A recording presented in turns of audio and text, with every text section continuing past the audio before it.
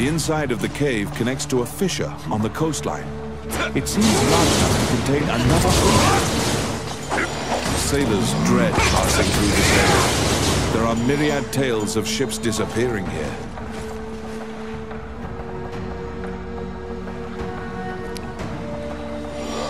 It's my turn. Voila! Get him!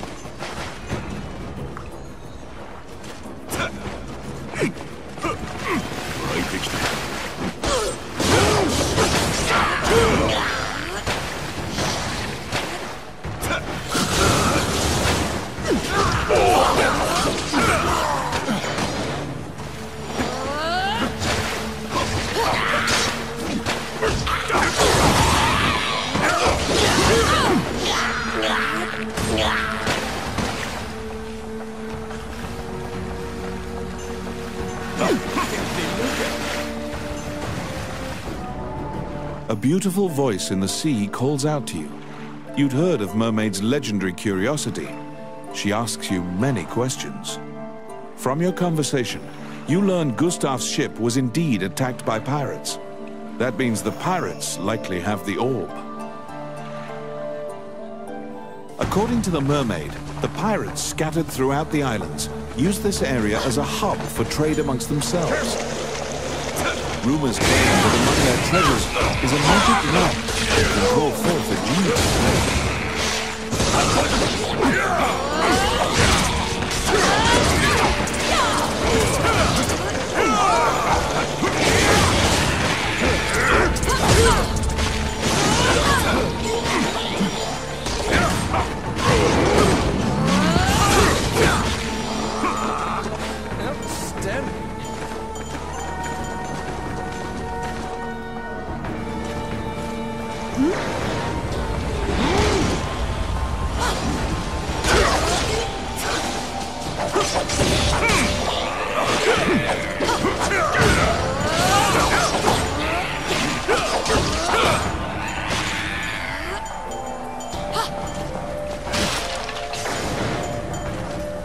Whoa!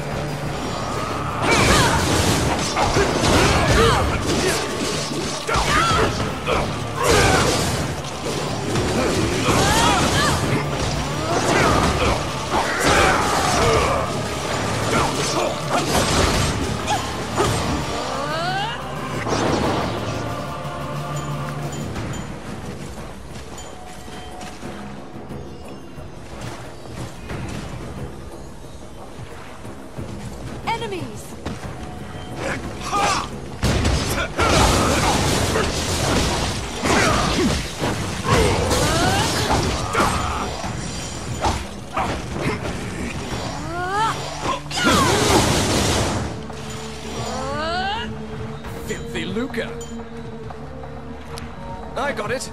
Oh, yeah. They were being duplicitous. Hmm? It was all a ruse.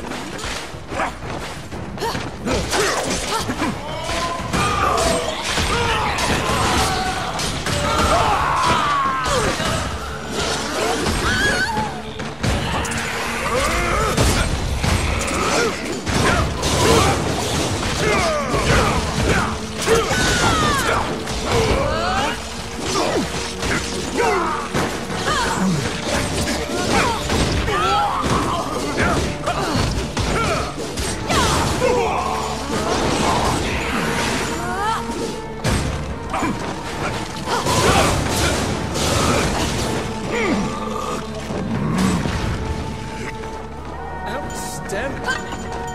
Filthy Luca. Let's see. Oh yeah.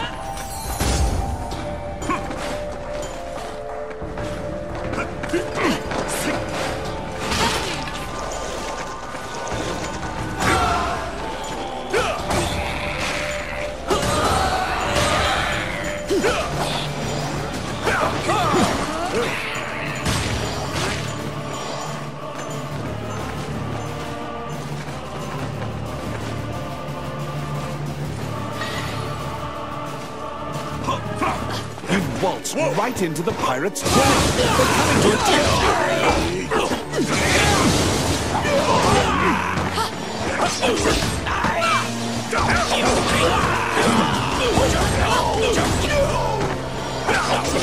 The pirates have the magic lamp. Your situation will turn down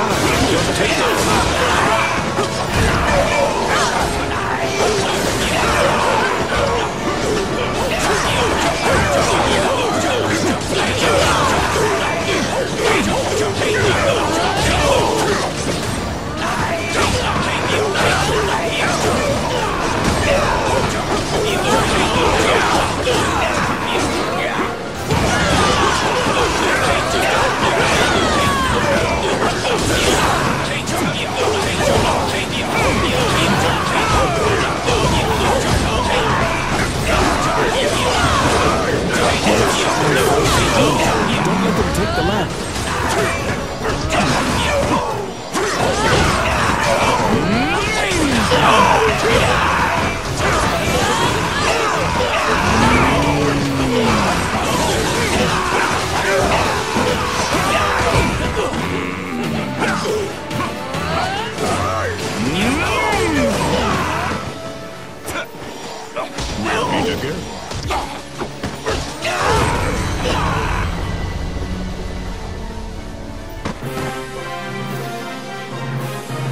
magic lamp granted a wish and flew off.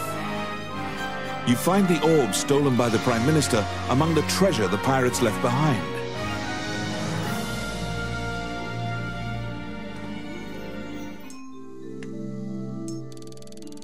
You reclaim the stolen royal orb.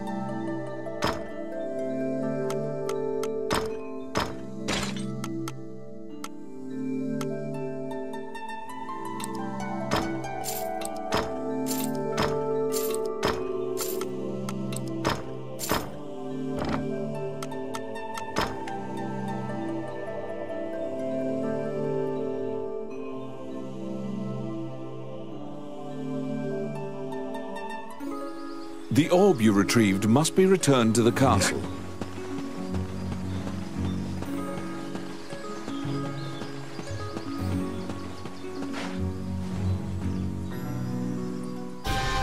The princess and count can't contain their surprise. They'd already resigned themselves to the worst possible outcome. You've won a great deal of favor from the royal family. The princess smiles upon you, and Dean trusts you implicitly.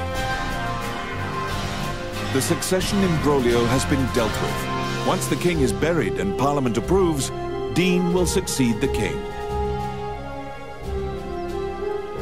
Still, the future king wears a somber expression. He knows Hydeland still faces many difficult challenges.